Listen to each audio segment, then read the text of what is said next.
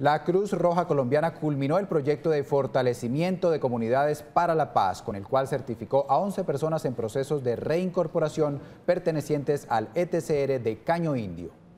11 reincorporados pertenecientes al ETCR de Caño Indio recibieron su homologación de saberes como auxiliares de enfermería y regentes en farmacia, certificación que entrega la Cruz Roja Colombiana junto con organizaciones internacionales. Estuvimos, como usted bien lo dice, durante un año homologando las competencias de, eh, de estos reinsertados que hoy se están eh, graduando, certificando como auxiliares de enfermería y como regente en farmacia.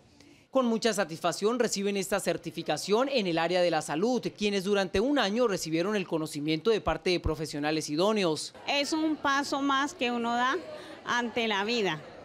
Eh, y valorarles mucho, agradecerles mucho a la Cruz Roja y también al proceso de paz. La Cruz Roja continuará articulando con organizaciones internacionales para poder seguir prestando esta labor de empoderamiento y construcción de paz en Norte de Santander.